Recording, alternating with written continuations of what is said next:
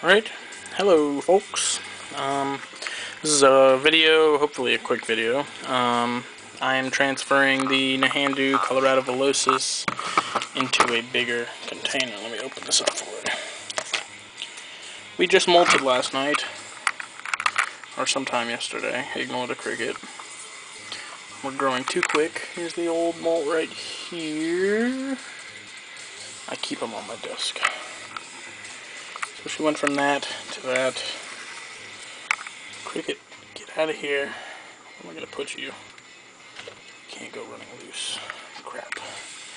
These little pinheads, man, they're hard to catch, harder than the adults. Uh, I'll put you in here. There you go. Okay. As I was saying, as I get my camera focus, Nhandu molted. Um, and the Poecilotheria molted. That's her molt that she just gave me. Very good sized fangs. And the yellow legs that she's developing quite rapidly. Anyways, I think this Nhandu might be a female. I'm hoping it is. And, uh, I'm putting her into this because she, you know, go another probably two or three, maybe four molts in here without a problem. Um, so I'm gonna see if I can set this up. Have it at an angle, hopefully. There we go, that seems to work. Okay, so what I'm doing first and foremost, this already had some Eco Earth in it that I was using to store. Um, so I gotta put more in there. But first I have to get all these stupid containers out. I don't want to, I want to put a lot because these guys are obligate burrowers. Um, so they'll burrow on their own. They don't really need anything to burrow with or against. Even though I gave her a piece of cork bark, a little piece, not a big piece. What's this? Some of it's been dried out and reused, and I'm kind of recycling my stuff here. So you do this, you get it wet.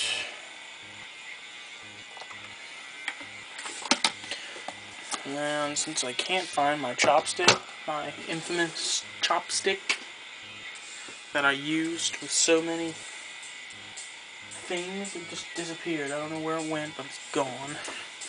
I gotta mix it with something else, so I guess I'll just use this Sharpie pen.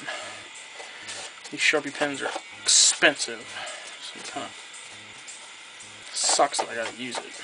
But I don't feel like using the mini hook because, well, I like the mini hook more than I like the pen, so I'm just gonna stop talking.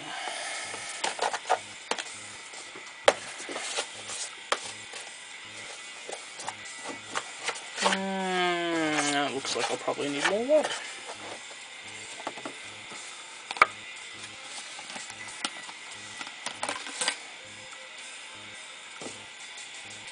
And some people will say, you know, hey, isn't that too big? Well, you know, the tarantula burrows really doesn't matter because they're happy in their own little world.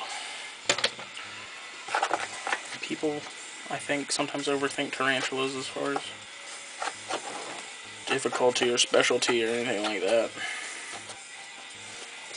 You gotta keep in mind, they're primitive animals for the most part.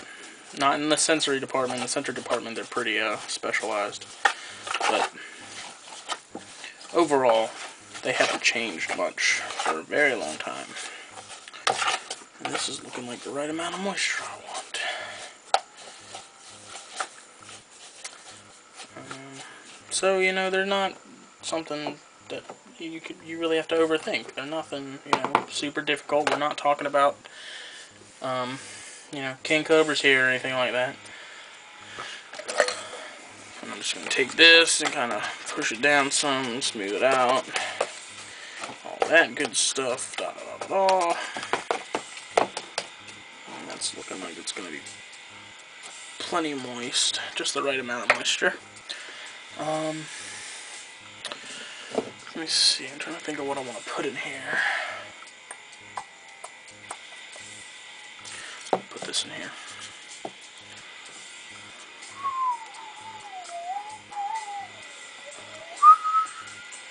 To some dismember.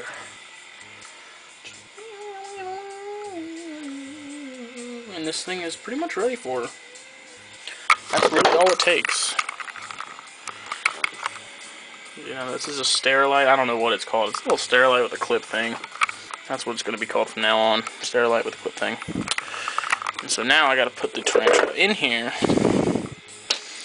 It shouldn't be too difficult because she's pretty easy maneuver. I don't have enough tilt on here. Well, smart.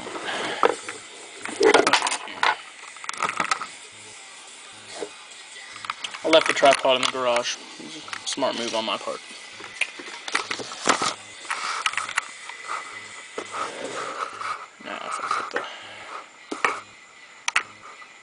That won't work either. Okay. My directing skills are outstanding. We'll just put it like that for now. You're going to miss a little bit of action, but I think you'll be alright. You know how action-packed my videos get.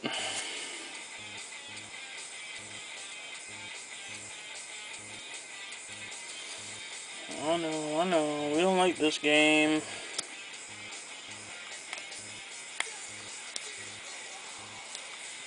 Come on.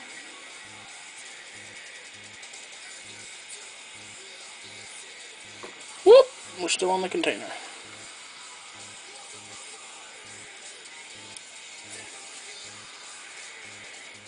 Apparently adult females of this species go for about 120 bucks, give or take, online. So there she is. This is the container she's in. She'll grow in this. And, uh, probably grow a lot. They grow pretty quick. I think that they remind me a lot of, uh, the Brazilian salmon pink bird eater that I have in behavior and, you know, growth rate. They're a pretty big species from what I understand. Not really big, but they're, you know, hefty. Um,